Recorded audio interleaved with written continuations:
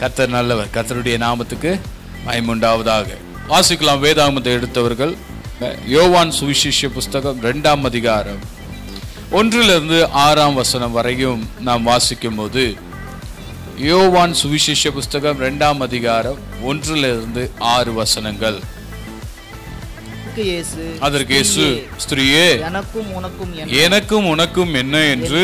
என் வேலை என் வேலை இன்னும் வரவில்லை என்றார். அவருடைய தாய் வேலைக்காரரை நோக்கி அவருடைய தாய் வேலைக்காரரை நோக்கி அவர் உங்களுக்கு என்ன சொல்லுகிறாரோ அவர் உங்களுக்கு என்ன சொல்லுகிறாரோ அதன்படி செய்ய அதன்படி செய்யுங்கள். அங்கே ஆறு கச்சாடிகளை வைத்திருக்கிறதை கண்டார். அல்லேலூயா. இந்த நாளிலே உங்களோடு கூட கத்தர் கொடுத்த வார்த்தையானது என் ஜனங்கள் ஒருபோதும் வெட்கப்பட்டு போவதில்லை. அலையலூயா தலைப்பு வசனமாக யோவேல் ரெண்டாம் அதிகாரம் இருபத்தி ஏழாம் வசனத்திலே வாசிக்கும் போது இந்த வசனம் இந்த வார்த்தை அங்கே சொல்லப்படும் என் ஜனம் ஒருபோதும் வெட்கப்பட்டு போவதில்லை. பல நேரங்களில் நம்முடைய வாழ்க்கையில் அநேக காரியங்களில் ஜெபம் செய்து கொண்டிருக்கிறோம். ஆனால் சில நேரங்கள் சில நிமிஷங்களை நம்முடைய சூழ்நிலைகள் தோற்று போனது போல வெக்கப்பட்டு போனது போல நம்முடைய நிலைமை இருக்கிறது. ஆனாலும் முடிவு தோல்வி இல்லை. தேவன் நமக்கு ஜெயத்தை வைத்திருக்கிறார். தேவன் நமக்கு வெற்றியை வைத்திருக்கா தேவன் நமக்கு சமாதானத்தை வைத்திருக்கா தேவன் நமக்கு ஆசீர்வாதங்களை வைத்திருக்கிறார்.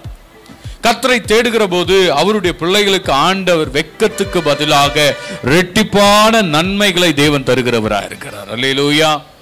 லூயா எங்க யோவே யோவான் புஸ்தகம் ரெண்டாம் அதிகாரம் ஒன்றுல இருந்து ஆறு வசனங்கள் வரையும் வாசிக்கும் போது ஆண்டவர் முதல் முறையாய் காணா ஒரு கல்யாண வீட்டுக்கு அவர் குடும்பமாக அவருடைய தாயும் அவருமாக அழைக்கப்படுகிறார்கள். அவர் அந்த திருமணத்துக்கு போகிறார். திருமணத்துக்கு போனவர் அவர் அவருடைய நண்பர்களோடு அவருடைய உறவினர்களோடு அவர் சாதாரணமான ஒரு மனிதனாகவே அமர்ந்து அங்கே இருக்கக்கூடிய நிகழ்ச்சிகளை எல்லாம் பார்த்து அவர் சாதாரணமாய் அமர்ந்து கொண்டு இருக்கிறார் இப்போ ஒரு கல்யாண வீட்டுக்கு உங்களை அழைத்தா நீங்கள் என்ன செய்வீங்க? போவோம் பார்ப்போம். மாப்பிள்ளையை பார்ப்போம் பொண்ணை பார்ப்போம் அங்கே என்னெல்லாம் நடக்குதுன்னு பார்த்துட்டு நம்ம வேலை என்ன? ஒரு பத்து நிமிஷம் உட்காந்துட்டு நம்ம ஃப்ரெண்ட்ஸாக இருந்தால் போயிட்டு ஒரு விஷ் பண்ணி காசு ஏதாவது கொடுத்து கிஃப்ட்டை கொடுத்துட்டு நேராக போகக்கூடிய ஒரு இடம் எங்கே இருக்குது சாப்பாடு அறை. சாப்பாட்டு அறைக்கு போயிட்டு நான் முதல் இடம் எங்கே இருக்குதுன்னு பார்த்து உட்காந்து சாப்பிட்டு நல்ல வய நிறைய சாப்பிட்டு கிளம்பி வருவோம். ஏசு கல்யாண வீட்டுக்கு போகிறார் அமர்ந்திருக்கிறார் அமைதியாக இருக்கிறார். அந்த கல்யாண வீட்டில் எல்லாம் அழகாய் நடந்து கொண்டிருக்கிறது. ஒரு பக்கம் மணவாளன் ஒரு பக்கம் ஒரு மணவாட்டி. அலங்காரத்தோடு இருக்கிறாங்க. அங்கே திராட்சை ரசம் இருக்கிறது. எல்லாரும் குடித்து கொண்டு சந்தோஷத்தோடு பாடல்களை பாடி ஆட்டமாடி நல்லா இருக்கிறாங்க. திடீரென்று ஒரு குறைவு வந்து விட்டது நமக்கு தெரியும் அந்த வசனத்தை வாசிக்கும் என்ன குறை வந்தது? திராட்சை ரச குறைவு. திராட்சரசம் குறைவு பட்ட உடனே இந்த வார்த்தை பார்க்கிறோம். அவர்களுடைய தாயார் இயேசுவிடத்துல போய் சொல்லுகிறார். இயேசு ராஜா கிட்ட போய் சொல்றாரு. அப்பா இந்த இடத்துல இந்த கல்யாணத்துல திருமணத்துல திராட்சரசம் குறைவுபட்டது அன்னைக்கு கல்யாண வீட்டுக்கு நிறைய பேர் வந்திருக்கிறாங்க. நிறைய பேர் இன்னும் சாப்பிட்டு கொண்டு இருக்கிறாங்க இன்னும் பானம் பண்ணி கொண்டு இருக்கிறாங்க ஆனால் இன்னும் யாரும் புறப்பட்டு போகிற மாதிரி இல்லை. சில நேரங்களில் சாப்பாடு ருசியாக இருந்தால் ஜனங்க என்ன பண்ண மாட்டாங்க? பந்தியை விட்டு எழுந்திருக்க மாட்டாங்க. அதான ஊரில் ஆயத்தம் பண்ணப்பட்ட அந்த திராட்சை ரசம் மக்களுக்கு தேவையான அளவுக்கு ஆயத்தம் பண்ணி வைத்திருந்தாலும் கூட திடீர் என்று அங்கே என்ன ஆயிடுச்சு? குறைவுபட்டு போச்சு. இப்போ ஜனங்களுக்குள்ள ஒரு முறுமுறுப்பு வரப்போகிறது. இன்னும் கொஞ்ச நேரத்தில் அந்த கல்யாணத்தை குறித்து என்ன பண்ணுவாங்க? கேலி பேசுவாங்க. ஏன்னா இப்பொழுது திராட்சை ரசம் குறைந்து இப்போ திராட்சை ரசம் இல்லை. ஒரு கல்யாணம் சொன்னால் அந்த சாப்பாடு ஆயத்தமாக இருக்கணும். சாப்பாடு நன்றா இருக்கணும். தேவையான அளவுக்கு இருக்கணும். மீதி எடுக்கலாமே தவிர குறைவுபட்டு மட்டும் போகவே கூடாது. அப்போ இந்த ஏ கல்யாண வீட்டில் பார்க்குறோம் காணா ஒரு கல்யாண வீட்டில் ஏசுநாதரும் ஒரு தாயாரும் அழைக்கப்பட்ட அந்த வீட்டில் பார்க்கும்போது முதல் மிரக்கல் ஆண்டவர் செய்கிறாரு. அங்கே பார்க்கும்போது இயேசுடைய தாயார் போய் இயேசு இடத்துல சொல்கிறாங்க இங்கே திராட்சை ரசம் குறைபட்டிருக்கிறது. நீங்கள் ஏதாவது போய் உதவி செய்ப்பாங்க ஏன்பா உட்காந்துருக்க ஒருவேளை அவங்க தாய் இப்படி நினைத்திருக்கலாம். எல்லாரும் போய் திராட்சைகளை போய் எங்கேயாவது கேட்டு வாங்கிட்டு வருவாங்க. இல்லைன்னா எங்கனா போய் திராட்சை ரசத்தை கொண்டு வருவாங்க. உனக்கு தெரிந்த நண்பர்கோடு நீ என்ன பண்ணுங்க? போயிட்டு அந்த திராட்சை ரசத்தை கொண்டு வா. உன் நண்பர்களிடத்தில் போய் கூட கேட்டு வாங்கிட்டு வரா. இல்லை உனக்கு தெரிந்தவங்ககிட்ட யாருக்கிட்டையாவது உதவி கேள். அப்படின்னு கூட அந்த தாயார் அந்த முறையில் பேசியிருக்கலாம். ஏதாவது செய். அல்லேலூயா. இப்போ நம்ம வீட்டில் வேலை நடக்குது. நம்ம பிள்ளைங்கிட்ட என்ன சொல்கிறோம் ஏதாவது வாங்கிட்டு வாப்பா. இதை போப்பா அதைப்பா அப்படின்னு சொல்கிறோம் சில பிள்ளைகள் கீழ்ப்படிந்து அந்த வேலையை செய்யும். சில பிள்ளைகள் கீழ்ப்படியவே கீழ்ப்படியாது. வேலைகளை எடுத்து செய்யாது. ஒத்துக்கொள்ளவே மாட்டாங்க. தாய்க்கு சஞ்சலமாகவே இருப்பாங்க. தகப்பனுக்கு சஞ்சலமாகவே இருப்பாங்க. ஒரு உதவி செய்ய மாட்டாங்க. ஏசுநாதர் அந்த இடத்துல பேசும்போது சொல்லுகிறார் என் வேலை இன்னும் வரவில்லை. அலையலூயா. ஸ்ரீயே என் வேலை இன்னும் வரவில்லை. ஒருவேளை அந்த தாய் அவர்களுக்கு மாம்ச பிரகாரமான ஒரு உதவியை எதிர்பார்த்திருக்கலாம். ஆனால் கத்தருடைய வார்த்தை சொல்லுகிறது இங்கே என் வேலை இன்னும் வரவில்லை. எனக்கும் உனக்கும் என்ன ஸ்திரீயே என்று கேட்டார்.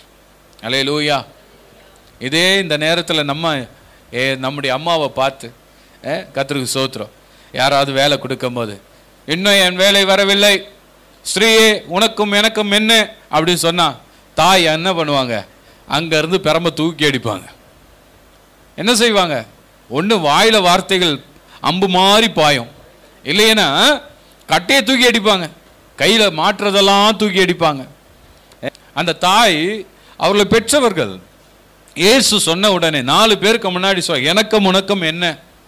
ஸ்திரீயே உனக்கும் எனக்கும் என்ன? எவ்வளோ அழகான தமிழில் சொல்லியிருக்கிறார். ஏ கர்த்தருக்கு ஸ்தோத்திரம். அந்த மொழியில் அவர் பேசினார். ஆனால் மொழி பே- மொழி டிரான்ஸ்லேஷன் பண்ணியிருக்காங்க ஸ்திரீயே உனக்கும் எனக்கும் என்ன? உடனே இந்த வசனத்தை வாசித்தோடனே நம்ம வீட்டில் போயிட்டு அம்மா எது சொன்னாலும் ஸ்திரீயே உனக்கும் எனக்கும் என்ன? ஸ்ரீயே உனக்கும் எனக்கும் என்ன? வேலைக்கு போப்பா உனக்கும் எனக்கும் என்ன? இந்த வேலை செய்ப்பா உனக்கும் எனக்கும் என்ன? அப்படி சொல்லிட்டு இருந்தா அவங்க சொல்லுவாங்க ஆமாம் உனக்கும் எனக்கும் என்ன? நீ வெளியே போ. உன் மூட்டையை கட்டிட்டு வெளியில போ. உனக்கும் எனக்கும் என்ன? பிறந்த நாள் வந்தப்போ துணி வாங்கி தாங்க அப்படின்னு சொல்லுவாங்க. உனக்கும் எனக்கும் என்ன? கரெக்டாக சொல்லுவாங்க. கல்யாண நாள் வரும்போது சொல்லுவாங்க உனக்கும் எனக்கும் என்ன? நம்ம எப்போல்லாம் விதைக்கிறோமோ அப்போல்லாம் ஒரு நாள் இருக்கிறது. மறுபடியும் அறுப்போம். அலையிலூயா சொல்லுங்க பார்க்கலாம். நாம் எதை சொல்லுகிறோமோ அதை நிச்சயம் நம் வாழ்க்கையில் திரும்பி வரும். நடக்கும். ஆனால் இங்கே ஒரு விஷயம் நடக்கிறது. அவர் தாயார் என்ன சொன்னார்னா அவர் தேவனுடைய மகன் என்பதை அறிந்திருந்தார். அலையலூயா தேவனுடைய மகன். தேவனுடைய மகன். தேவனுடைய சித்தம். இவ்வளவு நாட்கள் இவர் இதை தான் செய்ய வேண்டும் என்று அந்த தாயும் காத்திருந்தார். முப்பது வருஷமாக முப்பது வருஷமா இவர் எப்போ தேவனுடைய மகனாச்சு இன்னும் நமக்கே வேலை செய்துகிட்டு இருக்கிறார் நமக்கே உதவி செய்து கொண்டு இருக்கிறார் இன்னும் அற்புதத்தை செய்யல இன்னும் மிரக்கல் செய்யல. தேவன் தேடுகிற தேவனுடைய திட்டங்களை இன்னும் இயேசு இன்னும் செய்யவில்லையே என்று எதிர்பார்த்து கொண்டிருந்தார். அதனால தான் இயேசு அந்த வார்த்தையை சொல்ல போது இந்த தாயானவள் தன்னுடைய உள்ளத்துல மகிழ்ந்து களி சொல்றாங்க போய் வேலைக்காரங்கிட்ட அவர் என்ன சொல்லுகிறாரோ அதன்படி செய். அலே லோயா அவர் என்ன சொல்லுகிறாரோ அதன்படி செய்யுங்க. அவர் சொன்னபடி செய்தா இனிமேல் எழுப்புதல் வரும். ரலேலியா சொல்லுங்க பார்க்கலாம். அவர் சொல்லுகிறபடி செய்தால் நம்முடைய வாழ்க்கைக்கு கீழ்ப்படியும் பொழுது தம்முடைய ஜனங்களை அவர் ஒருபோது வெட்கப்படுத்த மாட்டார். அவரை தேடுகிற பொழுது அவர் சொல்லுகிற வார்த்தைக்கு கீழ்ப்படியும் இங்கே ஸ்திரீயானவள் அப்படின்னு சொன்ன உடனே ஸ்திரீ என்ன பண்ணிட்டாங்க? அமைதியா? அமைதியா என்ன பண்ணாங்க? அமைதியா இருந்தாங்க. உடனே அவர் கோவப்படலாங்க. மகனை பார்த்து கோவப்படலை. ஏன்னா இவர் தான் தேவனுடைய மகன். நம்மளால் ஒரு எழுப்புதல் இங்கே வராது. நம்மளால் அற்புதம் செய்ய முடியாது. மரியாள் அம்மாவால் அற்புதம் செய்ய முடியுமானால் அன்னைக்கு என்ன செஞ்சுருக்கணும் அவங்க? ஏசுநாதர்கிட்ட வந்து சொல்லியிருப்பணும். சொல்லி சொல்லியிருக்க கூடாது. அல்லேலூயா. ஏன் மரியாள் அம்மா அங்கே போய் என்ன பண்ணாங்க ஏசுநாதர்கிட்ட எப்பா திராட்சை ரசம் குறைஞ்சிருக்கு. ஏதாவது செய்ய சொல்லணும். அவங்களே மிராக்கல் செய்கிறதா இருந்தால் என்ன பண்ணியிருப்பாங்க? ஏசுநாதர்கிட்ட போயிருக்க மாட்டாங்க. இவங்களே போய் அப்படி ப்ளஸ் பண்ணி அதை திராட்சை ரசமாக்கி நல்லா குடிங்க அப்படின்னு சொல்லியிருக்கிறோம். அம்மாவுக்கு தெரியும் நான் மாம்சம். அவர் தான் ஆவியானவர். அலையிலுயா சொல்லுங்க பார்க்கலாம் அலையிலுயா சொல்லுங்க பார்க்கலாம் என்னால் இந்த மிரக்கல்லாம் செய்ய முடியாது. எனக்கு ஒரே ஒரு கிருபை தான் இருந்தது. என்ன கிருபைனா இந்த மகனை பெற்றெடுக்கிற கிருபை இருந்தது. அலையிலுயா சொல்லுங்க பார்க்கலாம் இயேசுவை பெற்றெடுக்கிற கிருபை மாத்திரம்தான் மரியாளுக்கு இருந்ததே தவிர இயேசுவை போல அற்புதம் செய்கிற கிருபை மரியாளுக்கு இல்லை. அலையிலுயா சொல்லாமா? அலையிலுயா சொல்லாமா? தேவனை இயேசு கிறிஸ்துவை காண்பித்து கொடுத்தாங்க. இவர் சொல்லுகிறபடி செய்யுங்க. யார் சொல்றபடி செய்யணும்? சொல்லுங்களேன் வாய் திறந்து. அப்பா சொல்ற மாதிரி செய்யணும். இயேசு கிறிஸ்து சொல்ற மாதிரி செய்யணும். அவர் சொன்னால்தான் மிரக்கல் நடக்கும். அவர் ஒரு வார்த்தை சொன்னால் வேலைக்காரர் சுகம் அடைவார் அவர் ஒரு வார்த்தை சொன்னால் அங்கே திராட்சை ரசம் நிறைவடையும். அல்லேலூயா நம்முடைய வாழ்க்கையில் எதெல்லாம் குறைவாக இருக்கிறதோ அந்த குறைவுகளை நிறைவாக்க இயேசு கிறிஸ்து ஒரு வார்த்தை சொல்ல வேண்டும். அல்லேலூயா இன்னைக்கு நம்முடைய வாழ்க்கையில் குறைவு குறைவு குறைவு இருக்குதுன்னா நம்முடைய வாழ்க்கை இன்னும் இயேசுவோடு கூட இன்னும் இணைந்து போகவில்லை. இயேசுவோடு இன்னும் கனெக்ட் ஆகவில்லை. நாம் இன்னும் ஜெபிக்கவில்லை. இன்னும் நாம் ஆண்டவரை தேடவில்லை. இன்னும் ஆண்டவரை நாம் ஆராதிக்கவில்லை. நாம் ஜெபிக்க ஜெபிக்க ஜெபிக்க தேவன் நம்மை அவருடைய பிள்ளையாக மாற்றி நம்மை ஆசிர்வதிக்க அவர் உண்மையுள்ளவராக இருக்கிறார். அல்லேலூயா சொல்லுங்க பார்க்கலாம். அல்லேலூயா கத்தரை தேடணும். அந்த தாயார் சொன்ன உடனே இயேசு இடத்துல போனாங்க. எல்லாரும் போய் இயேசு கிட்ட பார்க்கறாங்க. இவ்வளவு நாட்கள் இயேசுவின் நாட்கள் அந்த காண ஒரு கல்யாண நாட்கள் வரைக்கும் எல்லாரும் மரியாள் இடத்துல தான் வந்துகிட்டே இருந்தாங்க. ஏன்னா இயேசு பிறக்கும் போது ஒரு வாழ்த்துதல் வந்தது. என்ன வாழ்த்துதல்? சொல்லுங்க பார்க்கலாம். ஸ்திரீகளுக்குள்ளே ஆசிர்வதிக்கப்பட்டவள். அலே அல்லேலூயா. ஸ்திரீகளுக்குள்ள ஆசிர்வதிக்கப்பட்டவள். அன்னைக்கு சொன்ன அந்த வாழ்த்து தான் எனக்கு இயேசு அதே வார்த்தையை சொன்னார். ஸ்திரீயே உனக்கும் எனக்கும் புரியுதுங்களா வசனம்? அலையிலுயா சொல்லுங்க பார்க்கலாம். அலையிலுயா சொல்லுங்க. ஏசு கேட்கிற ஸ்திரீகளுக்குள் ஆசீர்வதிக்கப்பட்டவள் மரியாள் ஸ்திரீகளுக்குள் ஆசீர்வதிக்கப்ப எல்லா ஸ்திரீகளும் சாதாரண கன்னி பருவமாக இருந்து தாய் தகப்பனுடைய வார்த்தை கீழ்ப்படி திருமணம் செய்து கொண்டார். இவர்கள் கன்னியாக இருந்து கொண்டிருந்த போது பரலோகத்துக்கு கீழ்ப்படிந்தார்கள். பரலோக சத்தத்துக்கு கீழ்ப்படிந்தார்கள். அவ்வளவுதான். ஒரு அழகான பரிசுத்த வித்து அவர்களுக்கு உண்டானது. குழந்தையை பெற்றெடுக்க ஆண்டவர் உதவி செய்தார். இயேசுவை வளர்க்கிற கிருபையை பெற்றுக்கொண்டார்கள். இயேசுவை நசுரையனாக வளர்த்தார்கள். இயேசுவை பெற்றெடுக்கும் பொழுது எத்தனையோ பிரச்சனைகள் இருந்த போராட்டம் இருந்தது. அவைகளை எல்லாம் அவர்கள் தாங்கிக் கொண்டார்கள். இயேசுவை பெற்றெடுக்கிற கிருபை வளர்க்கிற கிருபையை ஸ்திரீயாய் அவர்கள் பெற்றுக்கொண்டார்கள். ஆமென் சொல்லுங்கப்பா. அலே லோய்யா அதுக்கு பிறகு அவங்களுக்கும் ஊழியத்திற்கும் வல்லமைக்கும் ஒன்றுமே இல்லை. அவர்களால் அற்புதம் செய்யவே முடியலை. அதனால தான் இயேசுவை காண்பித்து கொடுத்தார்கள். இன்னைக்கும் இயேசுவை யாரெல்லாம் பிடித்துக் கொள்கிறீர்களோ இயேசுவை யாரெல்லாம் நோக்கி பார்க்கிறீர்களோ இயேசுவின் சமத்துல யாரெல்லாம் ஜெபிக்கிறீர்களோ உபவாசிக்கும் பொழுது உங்கள் கால்கள் முழங்கால்கள் எல்லாம் முடக்கும் பொழுது இயேசுவே இயேசுவே இயேசுவே நீர் எனக்கு உதவி செய்யும் என்ற போது நம்முடைய குறைவுகளை அப்பா நிறைவேற்ற வல்லவராயிருக்கிறார். அலே அலையலூயா. அவர்கிட்ட வந்து கேட்டாங்க. கேட்டோன்னே என்ன சொன்னார் அவரு? ஐந்தாம் வசனத்தில் வாசிங்க பார்க்கலாம். அவருடைய தாய் வேலைக்காரரை நோக்கி ஆமே. அவர் உங்களுக்கு உங்களுக்கு என்ன சொல்லுகிறாரோ அவர் உங்களுக்கு என்ன. சொல்லுகிறாரோ அதன்படி செய்யுங்கள். அதன்படி செய்யுங்கள் என்றார். அல்லேலூயா இன்னைக்கு எத்தனை பேர் அவர் சொல்லுகிறபடி செய்ய ஆயத்தமா இருக்கிறோம்? ரெடியா இருக்கிறீங்களா? எத்தனை பேர் ஆயத்தமா இருக்கீங்க? அவர் சொல்றதை கேட்க. சொல்லுங்களேன் ஒரு ஆமே. ரெடியா வந்துருங்க என் பின்னாடி சொன்னார். எத்தனை பேர் பின்னாடி வர ரெடியா இருக்கீங்க? ஆ? எல்லாத்தையும் விட்டுட்டு வாங்கன்னார். பேதுரு கேட்கிற ஆண்டவரே எல்லாத்தையும் விட்டு வர சொன்னீங்க நாங்கள் விட்டுட்டு வந்துட்டோம். என் மனைவியை விட்டேன் என்னுடைய தொழிலை விட்டேன் என் வேலைகளை விட்டேன். எல்லா ஆசீர்வாதங்களை விட்டுட்டோம். இனி என்னையா பண்ண போகிறேன் எங்களுக்கு என்னையா கிடைக்கும்? அவர் சொன்னார் இம்மையிலும் மறுமையிலும் ரெட்டிப்பான நன்மைகளை நான் தருவேன். அலே லோயா அவருக்காக விட்டவர்கள் ஒரு நாளும் வெக்கத்தை அவர்கள் அனுபவிப்பதில்லை. தேவன் அவர்களுடைய முகங்களை அவர் வெட்கப்படுத்த மாட்டார். அவர்களை மகிழ்ச்சி ஆக்குவார் அலேலூயா யூதர்கள் தங்களை சுத்திகரிக்கும் முறைமையின்படி ஒவ்வொன்றும் இரண்டு மூன்று குடம் தண்ணீர் கொள்ளத்தக்க ஆறு கச்சாடிகளை அங்கே வைத்திருந்தது. இயேசு வேலைக்காரரை நோக்கி ஜாடிகளிலே தண்ணீரை நிரப்புங்கள் என்றார். அவர்கள் அவைகளை நிறைய என்ன பண்ணலாம்? நிரப்பினார்கள். குறைவா நிரப்பல. அல்லேலூயா சொல்லுங்க பார்க்கலாம். இன்னைக்கு நம்முடைய வாழ்க்கையில ஆண்டவர் சொல்லுகிறதை செய்யணும்னா குறைவாய் நிரப்பக்கூடாது நிறைவாய் நிரப்பணும். எல்லாம் சொல்லுங்க நிறைவாய் நிரப்பணும். நிறைவாய் நிரப்ப வேண்டும். ஜெபம் செய்யும் போது நிறைவாய் ஜெபிக்கணும். எந்த சூழ்நிலைகள் வந்தாலும் எந்த யுத்த சத்தம் கேட்டாலும் எந்த காரியங்கள் யார் என்ன பேசினாலும் சரி நம்ம ஜெபத்தில் உட்காந்துருக்க யாருக்கும் அடிபட்டுருச்சுன்னா கூட நம்ம நேரத்தை ஜெபத்தை அவருடைய எந்த நேரத்தை ஒப்பு கொடுத்தோமோ அந்த நேரத்தை முடிச்சு தான் அடுத்த காரியத்தில் தலையிடணும். நமக்கு வருகிற சோதனை அது. அலையலூயா பாலை நீங்கள் வச்சுட்டு வந்திருக்கலாம் ஸ்டவ்வில். மறந்து போய் ஜெபத்தில் உட்காந்துருப்பீங்க ஐயோ ஜப நேரம். அது பொங்கி வடியுது. ஆனால் உங்களுக்கு ஒருக்குள்ள ஒரு சோதனை. என்ன பண்ணுவீங்க? என்ன பண்ணணும்? சொல்லுங்க பார்க்கலாம். எழுந்து ஓடி போய் ஆ? அந்த பாலை ஆஃப் பண்ணிவிட்டு கேஸ் ஆஃப் பண்ணிவிட்டு ஓடி வந்து மறுபடியும் முழங்காலில் போட்டு ஆண்டவரே என்னை காப்பாற்றுனீங்க பாலை காப்பாற்றுனீங்க ஆண்டவரை. நன்றி சொல்லி ஜெபத்தை ஆரம்பித்து அப்படியே போயிட்டே இருக்கணும். இல்லை லூயா இந்த பால் ஆஃப் பண்ணிட்டு வந்து ஜெபிக்கிறது தப்பு கிடையாது. ஆனால் பாலை ஆஃப் பண்ணிவிட்டு அப்படியே வேற ஒரு ஃபோன் வரும் வேற ஒரு டிஸ்டர்ப் வரும் அப்படியே போயிடக்கூடாது. அதுதான் பிரச்சனை. அல்லேலூயா முதல் வீட்டு காரியங்களை அழகாக ஒழுங்குபடுத்தணும். ஜெபம் என்று சொன்னால் காலையில் எழுந்த உடனே எல்லாவற்றையும் ஒழுங்குபடுத்தணும். மகனுக்குரியது மகளுக்குரியது பிள்ளைகளுக்குரியது கணவனுக்குரியது எல்லாவற்றையும் ஒழுங்குபடுத்தி எல்லா வேலையும் முடித்து அவர்களுக்கு செய்ய வேண்டியதெல்லாம் செய்துவிட்டு ஆயத்தமாய் கத்த சமூகத்தில் வந்து காத்திருக்கணும். சாதாரண மனுஷனாகியனா நமக்கு யார் உதவி செய்கிறார்களோ அவர்கள் மீது தான் நம்முடைய கவனம் இருக்கிறது. அலையலூயா அலையலூயா அந்த கவனம் வேலை செய்யணும் உதவி செய்யணும் சும்மா இருந்தா ஒன்றும் நடக்காது. சபை என்பது அப்படிதான். சபைக்கு சும்மா வந்து போனால் ஒன்றும் நடக்காது. சபையில் ஹார்ட் ஒர்க் பண்ணணும் நல்ல ஜெபிக்கணும். அலையலூயா சொல்லுங்க பார்க்கலாம். ஏசு அந்த வீட்டுக்குள்ளே போனார். அவர் சொன்னதை வேலைக்காரன் செய்தார். குறைவாய் தண்ணீரை நிரப்பல. ஐயா ஒரு குடம் ஊற்றிட்டேன் தண்ணி ஊற்றி என்னையா நடக்க போகுது? வேலைக்காரன் முறுமுறுக்கு தான் ரெண்டாவது வாட்டி ஊற்றுறாங்க என்ன நடக்க போகுது? மூணாவது வாட்டி ஊற்றுறாங்க சரி போதும். இதையாவது எதாவது செய்கிறாரா பார்க்கலாம். ஏதாவது சொல்யூஷனோ இல்லைன்னா மேலே அதுக்குரிய என்ன சொல்லுவாங்க? ஸ்குவாஷு திக்கான திராட்சை ரசங்கள்லாம் இருக்கும் இல்லையா? அது பூ ஊ- அதை போட்ட உடனே தண்ணீரை ஊற்றினா மதுரமாக மாறிடும். இந்த காலத்தில் இருக்க அப்படி அந்த நாட்களில் இல்லை.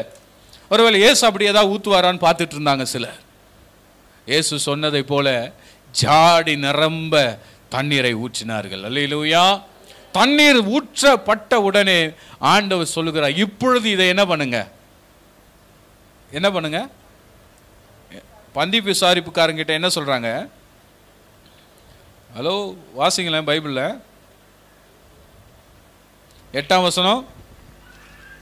அவர் அவர்களை அவர் அவர்களை நோக்கி நீங்கள் இப்பொழுது முண்டு மொண்டு பந்தி விசாரிப்புக்காரனத்திலே கொண்டு போங்கள் என்றார். அவர்கள் கொண்டு போனார் கொண்டு போனார்கள். சமையல் வேலையிலிருந்து பந்தி விசாரிப்புக்காரன் இடத்து வரைக்கும் போகிறது. போன உடனே ஒன்றும் புரியல. தண்ணி மூ ஊத்துனவனுக்கு கூட அந்த விசுவாசம் இல்லை. ஆனால் ஊற்ற சொன்னால் ஊற்றியாச்சு ஆனால் அதை கொண்டு போங்கன்னும் போது அதை அவர்கள் முண்டு எடுத்து கொண்டு போய் போய் கொடுத்தாச்சு. அவருக்கு தெரியாது. யாருக்கு தெரியாதுங்க? பந்தி விசாரிப்புக்காரனுக்கு ஒன்றுமே தெரியல. என்னடா இது? தீந்துருச்சு நடம் வாங்கி திராட்சை ரசம் கொடுத்துருப்பாங்கன்னு நினைக்கிறேன். அப்படின்னு அவர் என்ன பண்ணுறாரு அவரும் எடுத்துகிட்டு போகிறார் கொண்டு போன உடனே அங்கே சாட்சி வருகிறது ஒன்பதாம் வசனத்தில். வாசிப்பா. அந்த திராட்சை ஆ. எங்க இருந்து வந்தது என்று தண்ணீரை மொண்ட வேலைக்காரனுக்கு? ஆ. தெரியாததினால் அவன் ஆ. பாருங்கள் பாருங்க பந்தி விசாரிப்புக்காரர் சொல்கிறாரு அவருக்கு தெரியாது. இப்போ அவர் கொஞ்சம் குடிச்சு பார்க்குறாரு குடிச்ச சொல்கிறாரு எப்பா எப்போ முதல் வந்து ருசி உள்ளதை கொடுத்து தான் ருசி இல்லாததை கொடுக்கணும். நீங்கள் ஃபஸ்ட்டு வந்த பந்தியில் இருக்கிற ஆட்களுக்கெல்லாம் ருசி இல்லாததை கொடுத்துட்டு இப்போ ருசி உள்ளதை கொடுக்குறீங்களே முடிவுற நேரத்தில் அப்படின்னு சொல்கிறார் அலையிலோயா தேவனை தேடுகிற பொழுது. நம்ம நினைக்கிறோம் நம்முடைய வாழ்க்கை இவ்வளோ நாள் வாழ்ந்தோம். நல்லா தான் வாழ்ந்தோம். வீடு இருக்குது கார் இருக்குது பைக் இருக்குது எல்லாம் நல்லா தானே இருந்தேன். அது ருசியாக தானே இருந்ததுன்னு நினைக்கிறீங்க? ஆனால் ஏசுக்குள் வரும்போது அந்த ருசியை காட்டிலோ மதுரமான ருசியை அவன் நமக்கு தர வல்லவராக இருக்கிறார் அலே லூயா அநேக பணக்காரர்கள் அநேக கோடீஸ்வரர்கள் அநேகர் இன்னும் ரட்சிக்கப்படவில்லை. அவர்கள் சொல்கிறாங்க ஆசீர்வாதமாக தான் இருக்கிறேன். இன்னும் ஆசீர்வாதமாக தானே இருக்கேன். எனக்கு என்ன குறைவு? எனக்கு எதற்கு இயேசு இயேசு வரும் பொழுது உன் வாழ்க்கையில் நீயே அறியாமல் சொல்லுவாய் நான் முன்னாடி இருந்ததை காட்டிலும் இப்பொழுது நன்றாய் இருக்கிறேன். அலையிலுயா சொல்லுங்க பார்க்கலாம். என்னை ஆண்டவர் ருசியுள்ளவராய் வைத்திருக்கிறார் மதுரமாய் வைத்திருக்கிறார். மற்றவர்களுக்கு பிரயோஜனம் உள்ளவர்களா மற்றவர்கள் என்னை நேசிக்கத்தக்கதாக மற்றவருக்கு நான் பிரயோஜனமாக இருக்கத்தக்கதாக கத்தர் என்னை மாற்றி இருக்கிறார் அல்லேலூயா. அவரை தேடினா கல்யாண வீட்டில் குறைவு வராது உங்கள் வீட்டில் குறைவு வராது. ஆனால் ஒன்றே ஒன்று அவர் சொன்னதை நாம் செய்யணும். அலையலூயா அவர் சொன்னதை செய்யணும். எத்தனை பேர் செய்ய ஆயத்தமாக இருக்கிறீங்க? வாசிங்க. லூக்கா ஐந்தாம் அதிகாரம் ஐந்தாம் வசனம். அதற்கு சீமோன் ஐயரே ரா முழுவதும் நாங்கள் பிரயாசப்பட்டோம். ஒன்றும் அகப்படவில்லைன்னு கேட்குறேன் ஆகிலும் உங்க வார்த்தையின்படி வலையை போடுகிறேன் என்றார் வலையை போடுகிறேன் என்றான். அலையலூயா. ஐயா இரவெல்லாம் நான் பிரயாசப்பட்டேன். பகலெல்லாம் பிரயாசப்படுகிறேன். வேலைக்கு போடுறேன். முப்பது நாள் வேலைக்கு ஓடுறேன்யா. நான் சம்பாதிக்கிறேன் ஐயா இருபதாயிரம் சம்பாதிக்கிறேன் ஐயா முப்பதாயிரம் சம்பாதிக்கிறேன் ஐயா ஆனால் மிச்சம் மீதி எடுக்க முடியல ஐயா மிச்சமா? எடுக்க முடியல. ரெண்டாம் தேதி இஎம்ஐ கட்ட முடியல. அஞ்சாம் தேதி கடன் கட்ட முடியல.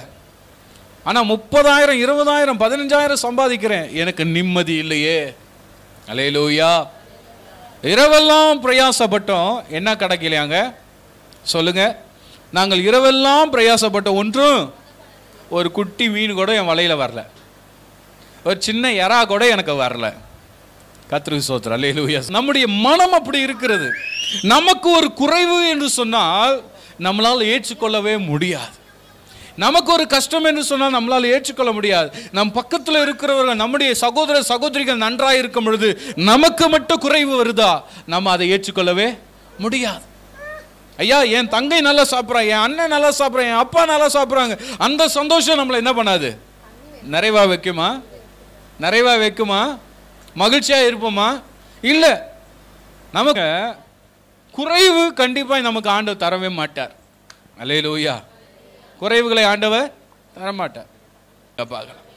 இந்த சீமோன் சொல்கிறார் ஆண்டவரை இரவெல்லாம் பிரயாசப்பட்டேன் எனக்கு என்ன கிடைக்கல? ஒன்றும் அகப்படவில்லை. ஒன்றும் ஆகப்பட நீங்கள் உங்கள் சொந்த உழைப்பை உழைக்க உழைக்க நீங்கள் உங்களுடைய கஷ்டத்தை போடுறீங்க. உங்கள் வேர்வை சிந்தி உழைக்கிறீங்க. ஆனால் ஒன்றும் கிடைக்கல. எப்படி இருக்கும்? அந்த வேதனை அந்த கஷ்டம். சீமோன் கேட்குறா ஆண்டவரே நைட்டெல்லாம் கஷ்டப்படுறேன். நைட்டெல்லாம் கஷ்டப்பட்டேன். வலையை போடுறேன் எடுக்கிறேன் வலையை போடுறேன் எடுக்கிறேன். வலையை போட்டு எடுக்கிறது சாதாரண விஷயமே கிடையாது. மீனவர்களுக்கு தான் தெரியும். இரவெல்லாம் ஒரு இடத்துக்கு போய் பல மைல் தூரங்கள் போய் இரவில் காத்தடிக்கும் பனி பெய்யும் மழை பெய்யும் சில நேரங்களில். அந்த நேரத்தில் தனிமையில் வலையை போட்டு சுற்றி அது எத்தனை பாவுள்ள வலையோ அத்தனை பாவுள்ள வலைகளையோ போட்டு விட்டு வந்து உட்கார்ந்துருக்கணும். ஒரு மணி நேரம் ரெண்டு மணி நேரம். உட்கார்ந்து அது போடுவதற்கே ஒன்றரை மணி நேரம் ஆகும். போட்டு விட்டு அமைதியாக உட்காந்துருக்கணும் தூங்க கூட முடியாது. சுற்றில யாராவது வண்டி படக்காரங்க வந்துட்டாங்கன்னா ஒருவேளை அந்த சத்தத்தில் இது போயிடுமே அப்படின்னு சொல்லி அதுக்கும் விழிப்பு இருக்கணும். அடுத்த படகுக்கார வரவே சொல்லலாம் இங்கே படகுல வலை போட்டிருக்கேன் வராதீங்கன்னு சொல்லணும். இரவெல்லாம் அந்த முயற்சி செய்து கொண்டே இருக்கணும். முடித்த உடனே ரெண்டு மணி நேரம் கழிச்சு மெது மெதுவாக வலையை இழுக்கணும். கடலுக்குள்ளே போட்ட வலையை அசால்ட்டாக இழுக்கவே முடியாது. அவ்வளோ வலிமை வேணும் பலன் வேணும். அவங்க போட்டு அதை எடுத்து அதில் வரக்கூடிய மீன் அதில் கூட ஒரு கூட வந்துருச்சுனாவே அவங்களுக்கு ரொம்ப சந்தோஷமாக இருக்கும். ஆனால் இந்த சீமோன் சொல்கிற இரவெல்லாம் பிரயாசப்பட்டேன்யா. கிட்டத்தட்ட ஒரு நாற்பத்தைந்து ஐம்பத்தைந்து வயதாக இருக்கும் இந்த பேதுருக்கு சீமோனுக்கு. அவர் சொல்கிறா இரவெல்லாம் பிரயாசப்பட்டேன். இருபது வயசுக்கு மனுஷன் வேலை செய்கிறதுக்கும் நாற்பத்தைந்து வயசு ஒரு சகோதரன் வேலை செய்வதற்கும் வித்தியாசம் இருக்கிறது. அலே லூயா என்னுடைய வே- சரீரம் வேற வயதானவர்களுடைய சரீரம் வேற.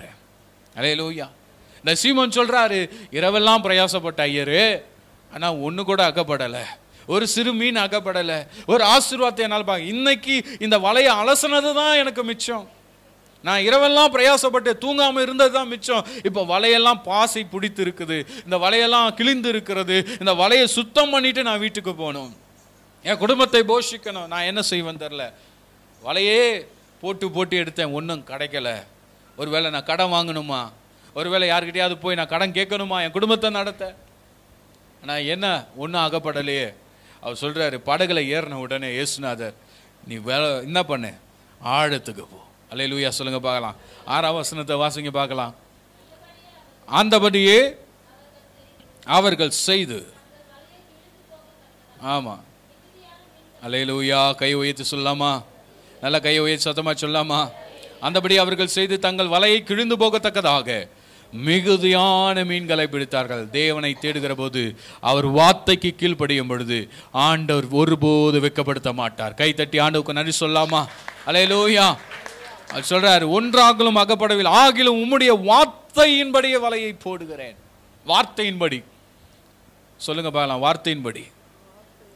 வார்த்தை மிக மிக அவசியம். வசனம் மிக மிக அவசியம். வார்த்தையினால தான் பிழைக்க முடியும்.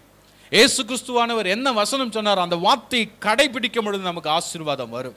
என்னைக்கு நம்முடைய நிலைமை ஒருவேளை மோசமாக இருக்கலாம் ஆனால் தொடர்ந்து ஜெபிக்க ஜெபிக்க ஜெபிக்க கத்தர் மாற்றங்களை தருவார். அலையலூயா வருவேன்னு சொன்னேன் அலையலூயா நம்ம கிட்ட வந்தா ஒருத்தருடைய வாழ்க்கையை ஆண்டவர் உயர்த்துவாரே தவிர குறைக்கவே மாட்டார். ராமன் சொல்லுங்கப்பா அலையலூயா சொல்லுங்க பார்க்கலாம் கத்தரை தேடுகிறவருக்கு ஒரு நன்மையும் குறைப்படாது அவர் ஆசீர்வதிப்பார். அவர் ஆசீர்வதிப்பார். ஒன்றாகிலும் அகப்படவில்லை. ஆனால் வசனம் சொல்லுகிறது அந்தபடி அவர்கள் அவருடைய வார்த்தையின்படியே வலையை போட்ட போட்டபோது அவர்கள் செய்தது என்னன்னா தங்கள் வலை கிழிந்து போகத்தக்க மிகுதியான மீன்களை பிடித்தார்கள். ஒரு ஆமீன் சொல்லுங்களேன். ஆண்டவர் உங்களை அதிகமான ஆசீர்வாதங்களை பிடிக்க செய்வார். செய்வார். விசுவாசிக்கிறீங்களா?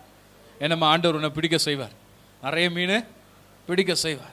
உன்னை பிடிக்க செய்வார். இல்லை லோயா ஆண்டவர் உங்களை மீன் பிடிக்க வைப்பார். அதனால் எல்லா வேலையும் விட்டுட்டு நேராக இன்னைக்கு சாயங்காலம் காசிமேட்டுக்கு போயிடணும். ஏ காசிமேட்டுக்கு போயிட்டு என்ன பண்ணலாம்? வலையை போடலாமா? சொல்லுங்களேன். போடலாமா? போடலாம் போடலாம். மீனை பிடிச்சி வஞ்சரம் மீனை வாங்கிட்டு வந்து வறுத்து சாப்பிடலாம். நம்ம வேலை அவ்வளோதான் கத்திரி சோதரம் வலையை பிடுங்கி அது கிழிந்து போகத்தக்க மிகுதியான ஆசீர்வாதங்களை தருகிற தேவன் நம்முடைய தேவன். அலையலூயா அவரை ஆராதிக்கிற போது நம்மை ஆண்டவர் கைவிட மாட்டார். ஒன்று சாமுவேல் ஏழாம் அதிகாரம் நாலாம் வசனத்தை வாசிக்கும் போது ஒன்று சாமுவேல் ஏழாம் அதிகாரம் நாலாம் வசனம். ஒன்று சாமுவேல் ஏழாம் அதிகாரம் நாலாம் வசனம். சீக்கிரம். ஆ. ம். அஸ்ரோத்தையும். ஆ. கர்த்தர் ஒருவருக்கு என்ன பண்ணாங்க? ஆராதனை செய்தார்கள். அப்புறம் பின்பு சாமுவேல் நான் உங்களுக்காக கத்தரை மன்றாடும்படிக்கு. அலேலூயா சாமுவேல் சொல்றார் எல்லாரும் ஒன்றா கூடணும். கூடனா நான் ஜெபிக்கிற போது உங்களுக்கு அற்புதம் நடக்கும் சொன்னார். அலேலூயா இவ்வளவு நாள் ஆராதித்த அந்த அஸ்துரோத்தையும் பாகாலையும். அது பிறகு? என்னதுங்க? விலக்கி விட்டு கத்தர் ஒருவருக்கே? ஆமாம் ஆராதனை செய்யுங்க. ஆண்டவர் ஒருவரை ஆராதனை செய்யுங்க. தேவ சமூகத்தில் முழுவதும் ஒப்பு கொடுத்து சிலரெல்லாம் வீட்டுக்காரையே ஆராதனை பண்ணிக்கிட்டு இருப்பாங்க. வீட்டுக்காரையே ஆராதனை பண்ணிக்கிட்டு இருப்பாங்க. சிலர்லாம் அவர் நகர்ந்து போகிற வரைக்கும் இவங்க நகரவே மாட்டாங்க. அவரே ஆராதனை. சிலர் மனைவிக்கே ஆராதனை பண்ணிக்கிட்டு இருப்பாங்க. இப்படியும் ஒரு ஆள் இருக்குது கணவனுக்கே ஆராதனை பண்ணுற மனைவிகள் இருக்கிறாங்க. மனைவிக்கு ஆராதனை பண்ணுற ஒரு நிகழ்ச்சியை ஃபேஸ்புக் மூலமாக எனக்கு ஒரு குறும் வீடியோ வந்து. என்னுடைய கால் மீது மனைவி போட்டிருக்காங்க காலை. இவர் அமுக்கி விட்டுக்கிட்டு இருக்கிறார் காலை. யார் காலை? கணவன் மனைவியுடைய காலை அமுக்கி கொண்டு இருக்கிறார் பார்க்க ரொம்ப நல்லா இருந்தது. பரவாயில்லையே இந்த காலத்துலேயும் கணவர்கள் மனைவிக்கு கால் அமுக்குறாங்களே அப்படின்ற மாதிரி இருக்குது உடனே கதவு ஒன்று தட்டுற சவுண்டு கேட்குது உடனே மனைவி கீழே உட்காடுறாங்க கணவர் அவர் மேலே உட்கா காலை நிட்டுறார். கதவை திறந்து பார்த்தா மாமியார் வந்து எட்டி பார்க்க உடனே இங்கே சூழ்நிலைலாம் மாறு. மனைவி கணவனுடைய காலை என்ன பண்ணுறாங்க அமுக்குறாங்க. மா அந்த மாமியார் போன உடனே அந்த அம்மா கட்டையை வச்சு இந்த த இவர் தலையை தட்டுறாங்க. ஏய் மேலே வா நான் கீழே போகிறேன் இன்னைக்கு நிலமெல்லாம் மாறி போச்சு. மாமியாரை பார்த்தாதான் கணவனுக்கு என்ன பண்ணுறாங்க டீ குடிக்கிறீங்களா? காபி குடிக்கிறீங்களா? டவலை எடுத்துகிட்டு வரவா? அப்படிலாம் சொல்கிறாங்க மாமியார் வந்துட்டா என்ன பண்ணிடுறாங்க? இதெல்லாம் நடக்குது. மாமியார் போயிட்டா இவர் திருப்பி கேட்குற என்னங்க? இட் என்னம்மா? இட்லி சாப்பிட்றியாம்மா? என்ன சாப்பிட்றீங்க? அப்படின்னு கேட்குற காலம் ஆயிடுச்சு. செய்யலையனா? நீ எனக்கு வேண்டாம். நீ எனக்கு என்ன செய்கிறாய்? எனக்கும் உனக்கு அந்த அம்மா இயேசுநாத ஸ்திரீயை பார்த்து கேட்ட மாதிரி இப்போ ஸ்திரீகள் எல்லாம் வீட்டுக்காரை பார்த்து கேட்குறாங்க பலர் நீங்கள் இல்லைம்மா. ஹலோ நீங்களாம் ரொம்ப நல்லவங்க. நீங்கள் உங்கள் வீட்டுக்காரெல்லாம் அப்படிலாம் கேட்க மாட்டீங்க. அலே லூயா கேட்பீங்களா கேட்பீங்களா மகனே உனக்கும் எனக்கும் என்ன? ஆ? தட்டில் சோறு போட்டு எடுத்துட்டு வாமா அப்படின்னு பாச புருஷன் கேட்டா மகனே உனக்கும் எனக்கும் என்ன? போ உங்கள் அம்மா கிட்ட போய் சாப்பிடு. அப்படின்னு சொல்லுவீங்களா அப்புறம் என்ன துணை? அலே லூயா அலே லூயா கத்திரிக்கு சோத்துற. பல வாழ்க்கையில் குடும்பங்களில் பல போராட்டம் வருது. இன்னைக்கு நிறைய பேர் கணவனை ஒர்ஷிப் பண்ணுறது மனைவியை ஒர்ஷிப் பண்ணுறது பிள்ளைகளை ஒர்ஷிப் பண்ணுறது அதெல்லாம் சரி கிடையாது. அலையிலூயா. தேவன் ஒருவரையே ஆராதனை செய்யணும். கையை உயர்த்தி அலையிலூயா சொல்லுங்க பார்க்கலாம். யார் ஒருவரை ஆராதிக்கணும்? அத்தர் ஒருவரை. அவரை ஒருவரை ஆராதனை செய்தால் நம்முடைய வாழ்க்கையில் ஒருபோது கஷ்டம் இருக்காது. அலையிலூயா ஆண்டவரை ஒருவரை நன்றாய் ஆராதனை செய்யுங்க. நல்ல ஜெபம் பண்ணுங்க. ஆவில நிரம்பி துதிங்க. ஆவில நிரம்பி ஆரா ஆராதனை செய்யுங்க. தேவன் உங்களுடைய குறைவுகளை அவர் நிறைவாக்குவார். இந்த மாதத்தின் குறைவுகள் எதுவாக இருந்தாலும் அதை ஆண்டவர் நிறைவாக்குவார். விசுவாசித்தா நல்ல ஒரு ஆமைன்னு சொல்லலாம்.